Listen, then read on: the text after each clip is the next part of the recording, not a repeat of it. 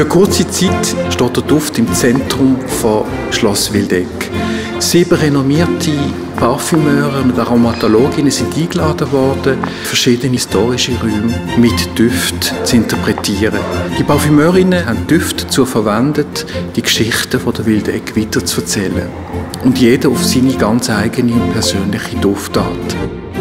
Dieser Ort hat mich total inspiriert und es war total toll, hier in dieser Ausstellung zu merken, wie viele Pflanzen aus den Alpen kommen können und sie auch hier zu riechen. Und diese Mischung von Holzen und Pflanzen und frische Luft und was drin passieren kann, ist sehr, sehr, sehr interessant.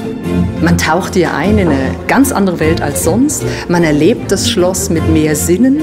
Ähm, man erlebt inszenierte Welten, die einen emotional mitnehmen. Durch die Düfte taucht man ein in was ganz Spezielles.